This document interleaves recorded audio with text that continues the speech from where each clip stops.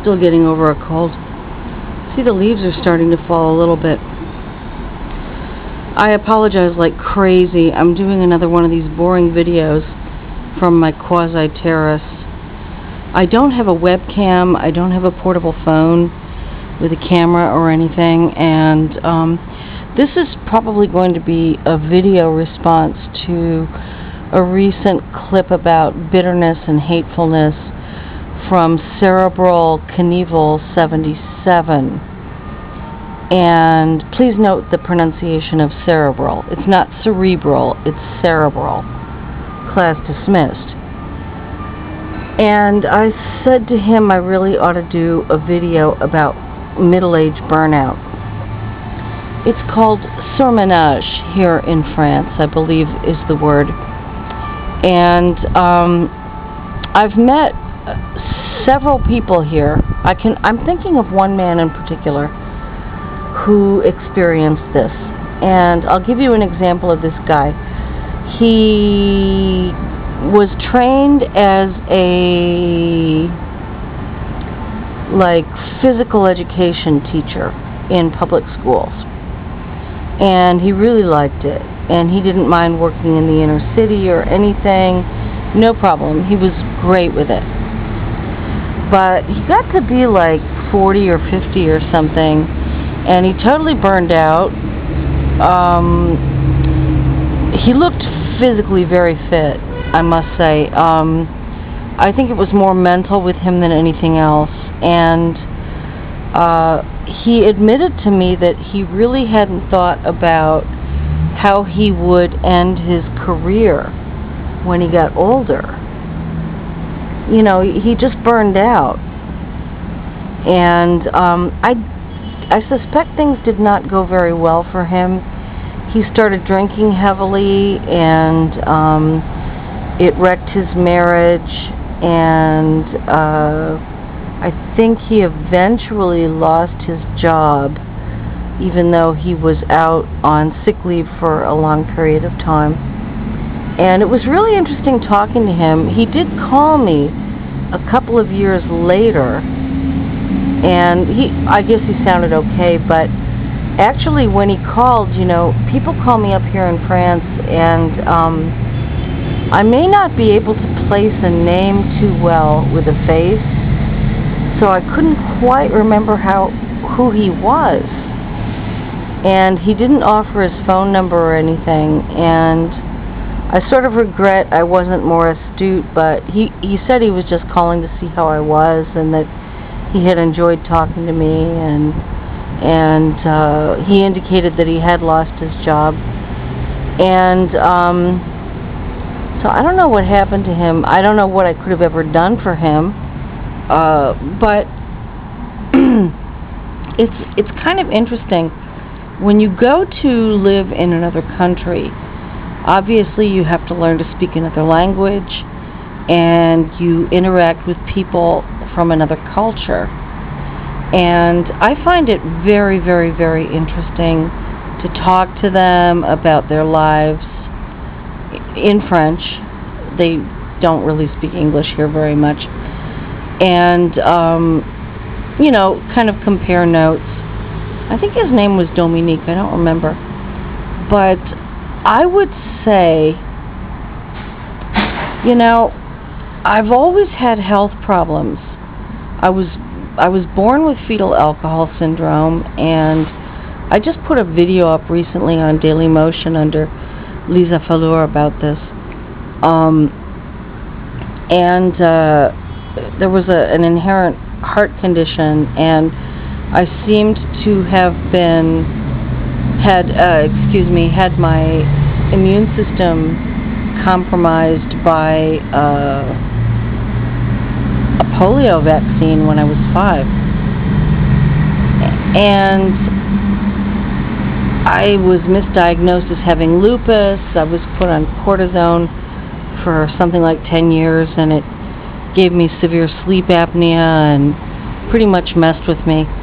Um, and I actually did get polio. You know, they don't tell you that when they give you these vaccines, you know. I spent quite a long period of my childhood in a wheelchair. Um, I just always kind of knew because I'm from a a poor white female background that I nobody was going to look after me, you know. I wasn't going to have any advantages. In fact, I didn't even realize how bad it was. And I moved to another place in the country and I applied for any old job that I wanted and sometimes I got them and I was so naive. I, I didn't even realize, you know, that you know when you're white and female in the United States and come from a poor background, statistically speaking that is just the worst. But I didn't know, so, you know, I figured, hey, you know, I just forged on ahead, you know. Um, sorry to say you know so much. I'm a little bit tired. I'm still getting over a very bad cold. Um, I would say that, you know, it may have seemed cautious, overcautious, but I kind of figured in the States that I would retire at age 40 because I didn't think my health was going to hold up. And when I told this to people, they just laughed. You know, they were just like, God, you know, what are you going to do? Become a millionaire? Retire at 40? But I figured that was a good target date because I had a, a feeling that my health was just not going to hold up, and it, it sure didn't. Um, although I kept going for quite a long time, and I, I still do stuff. Um, but I was only able to semi-retire at 43. But there was an expatriation involved in that, and that was a big setback and stuff. And and um, I had to really downscale my life and um, not rely on entitlements or any kind of benefits or anything, you know. But it was the it was the price I had to pay. So I would say that you know, for for Cory's video about people who go into sports professionally, um, I only know of one. I have one family member here in France who was a professional skateboarder, but I used to know people who were in the music industry, and uh, it it didn't go well. You know, really, it just didn't go well. And you know, they didn't plan, and you know, they got into drugs and stuff, and basically just kind of screwed themselves up. But I would say that even if you live a more traditional life and you have a more traditional job and and career and stuff like that, uh, I would think about planning. I mean, that's just about the best I could say. Um, you know, have a good disability income insurance policy, a good whole life insurance policy, a good long-term care plan, and please don't jump all over me about how rotten the insurance industry is. I know it. I worked in it, and I got screwed up by it myself but you have to make some preparations. You have to have a last will and testament. Um, you need to keep your life simple. You should be nimble, uh, ready to move on. Uh, I recommend gold bullion. It's been very useful to me in the past. And um, uh, you know, have your passport valid and ready to go, and find out about uh, other places to go and other options.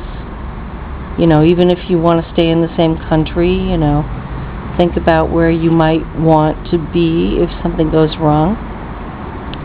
And uh, I would say learn a, a second language fluently try to get another citizenship. And I just, you know, the whole hunkering down thing, it just never worked for me. And I've heard from two preppers recently who have abandoned their preps and their property because they realized they had to expatriate and they didn't have the means to do it. And they they just couldn't ship the stuff out. You know, the guns, the food, the supplies, whatever. I felt very bad for them, really. Very, very bad. Um, you know, the less you have, probably the better. And people will rationalize, you know. They don't they don't understand, you know, it it takes between 100 to 300,000 US dollars equivalent to relocate and your whole family is not going to be able to go together probably and you probably can't take your pets and um you know that's just kind of how it is it's an old story and wherever you go it's going to take a long time and a lot more money than you think to get reestablished and learn the new legal system and everything and to adapt. And at the beginning of my fourth year as an immigrant, I got post-traumatic stress syndrome, which is really, really typical for immigrants. Very, very, very typical. Fortunately, I, I, I met a good doctor at the time who has an immigrant wife, and, you know, he just put me on tranks for a few weeks, and reassured me, and I, I was fine then after that, you know. But he said for a period of time he didn't even know his wife, who's from Cambodia, I think.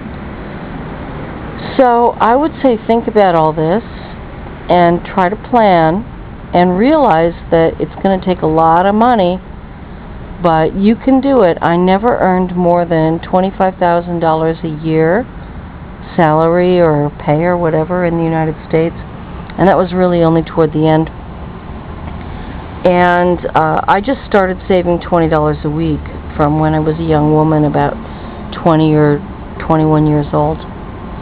And that's basically how, how I've accumulated some money and was able to look after myself because you know, I I just was sure that nobody was going to protect me or defend me and I sure was right. So think about this and middle age burnout and let me know what you think about this. I'd love to hear from your own experiences.